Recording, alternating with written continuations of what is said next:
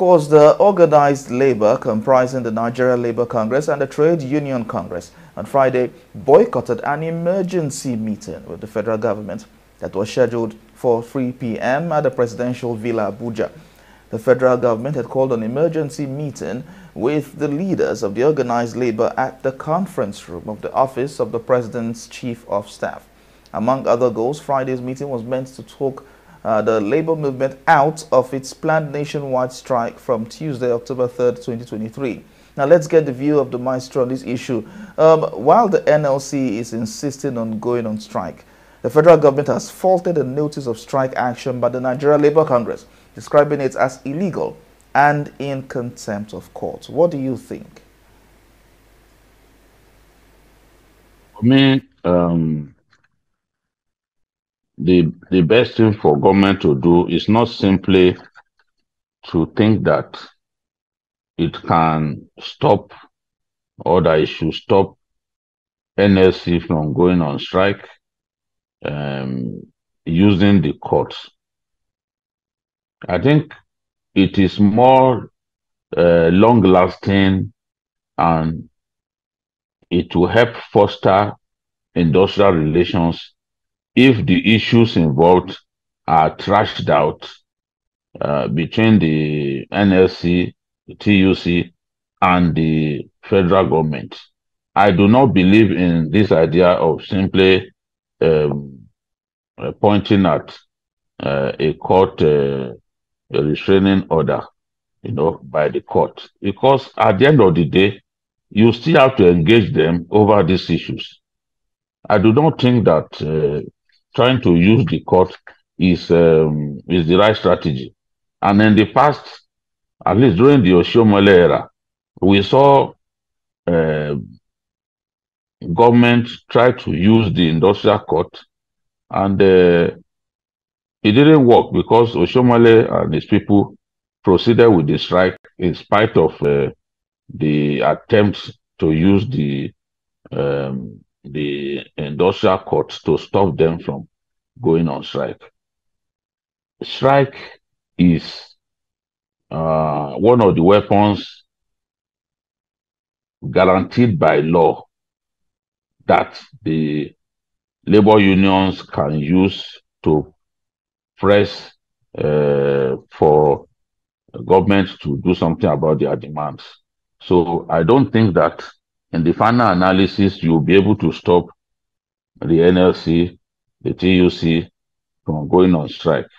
It is the, there has to be a conversation around the demands, around what labor is talking about. So for me, I don't believe in simply um, uh, threatening to file contempt charges against them because this kind of uh, whether it's an uh, perpetual injunction that the government is talking about or simply a restraining order for me that is not the, the way to go. Find engage labor. Call them into a room. Make promises to them. Uh, uh, put timelines to these promises. That is reassuring it will be reassuring not just to labor but to the rest of us.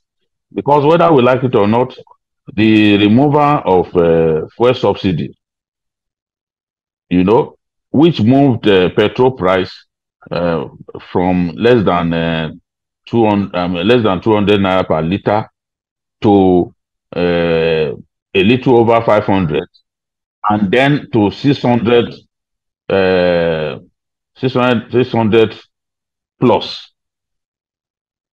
Depending on where you are in the country where you are buying from has inflicted pains on Nigerians. And we are all um, we are all victims. It's not like oh this is limited to just a category of Nigerians. There is no Nigerian that is not affected by the increase in fuel uh, prices. And a good number of us demanded that the um, that the fuel subsidy should go. I remember Peter Obi even uh, describing it as organized crime. So removing fuel subsidy is not the crime. What is not the crime because all the all the uh, presidential candidates of the major parties promised to remove fuel subsidy. Now it is how government has tried to ease the pain that is the issue. Many people are not convinced that government has done enough. Many people are convinced that the government can do a lot better than it is doing at this time. This is the time for the governors of all the states to meet with the federal government and begin to talk, have some conversation around the new minimum wage and around how we can cushion the effect of the removal of subsidy on the poorest of the poor in our country. If NBS says about 170 million Nigerians are multidimensionally poor, the removal of subsidy must have pushed uh, several more millions of Nigerians uh, down uh, the poverty pit. So there's a need to do something and do something quickly. There is so much pain in the land. There is and there is anger too. Government must not allow the strike to take place. Whatever government can do to stop the strike, it has to do it. President Tinubu uh, hopefully will be addressing Nigerians on on uh, on uh, October one. That is an opportunity for him to lay down what he wants to do, you know, to ease the pain, to improve the economy, and put timelines. Those timelines will reassure people that, look, this is indeed a, a destination, that we are heading somewhere. But to not do that is inexcusable. So now I've heard of uh, some of the unions that are prepared to go on strike at this time. Uh, NUPENG, NUBIFIE, which is the Union of Bank Workers, um, aviation workers, they have also said that they will go on strike, which means that airports uh, will be shut down. Now, if No NUPENG goes on strike, then we are, are talking about fuel scarcity, which will cripple the country. Of course, the uh, umbrella union of health workers in the country has also uh, vowed to go on strike.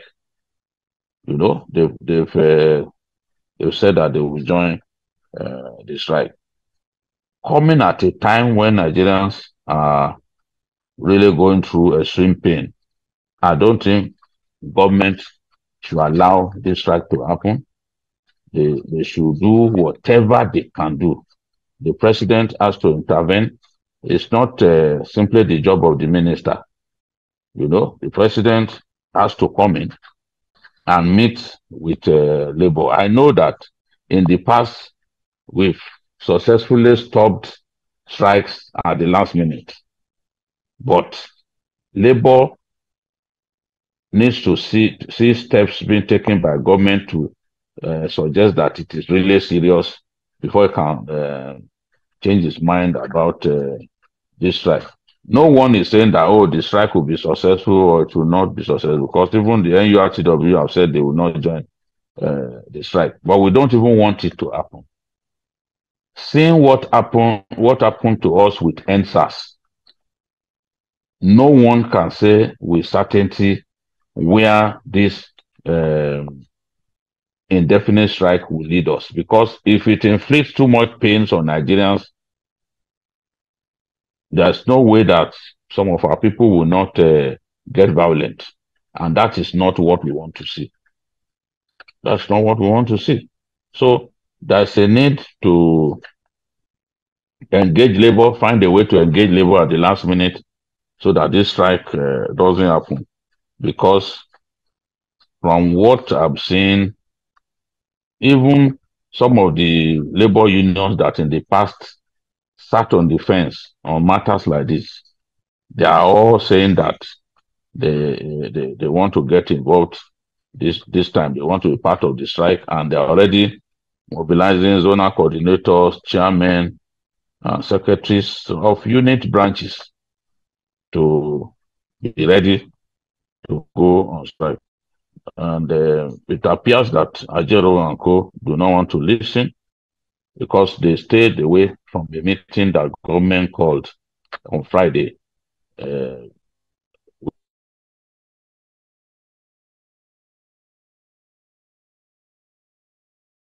prior to need lecture from anyone on national interest, national security, or preservation of our sovereignty. I mean, these are angry words suggesting uh, their level of frustration uh, with the way uh, the matter of uh, uh, the matter of easing the pains inflicted by uh, subsidy removal has been handled by the government. So what I would say is it is still possible for an indefinite strike not to happen. But it's up to the president to take decisive steps at this time. Let the president know that uh, less than six months into his administration, this sort of thing shouldn't be happening. And uh, the, the truth is, the president himself said that this is this is the time for us to come up with a living wage. He has to live up to his word. He has to rally governors and begin to work frenetically on the new minimum wage. You know, these are the kinds of moves that will show uh, labor that government is serious. And then the issue of palliative gets um, get NLC involved, show signs that you want to bring in vehicles to ease the transportation pains of Nigerians because that is where people are feeling the pain uh, the most. That apart from uh, high food prices, people need to move around to go and work. So the, the, the transport costs are killing our people.